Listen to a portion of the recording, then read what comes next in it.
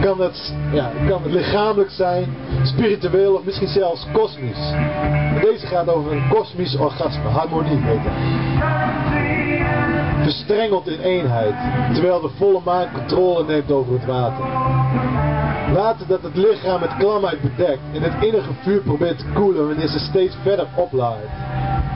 Water laat afdrijven naar een spirituele zee waar genot het leven overneemt. De chakras staan open, zeven keer. Zeven keer genot ontvangen als Luna je boven jezelf doet verrijzen. Het vuur laait op, los van de grond, verhoogt de frequentie. Nog één verbinding met de aarde in ware natuur, gedeelte 2. Sacraal chakra ontvangt, doet het gebied exploderen van genot.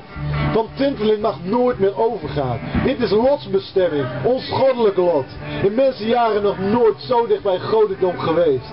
Kreunend, genietende Olympus overstegen.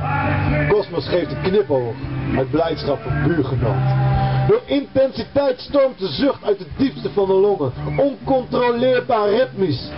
Zuchten laat ons zweven. De twaalfde planeet, een hemellichaam samen in één. Draaiend om onze as, verdeeld in vier elementen die ons pure harmonie schenken.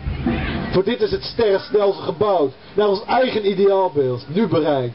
Steeds hoger, dieper, intenser.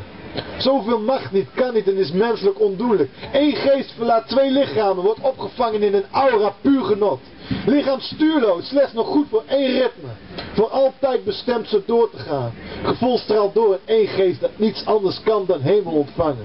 Lichaam in shock, schokkend van genot twee nooit kunnen opvangen. Grote ogen kijken elkaar aan als het punt wordt bereikt waarbij de duisternis kosmos verlaat. Heet als de zon, intens als een supernova, als één tegelijk. Samen echt leven gedeeld. Gevoel straalt door, twee raken weer grond. Intense zoenen met de gedachten. Samen hebben we de hemel gestreeld.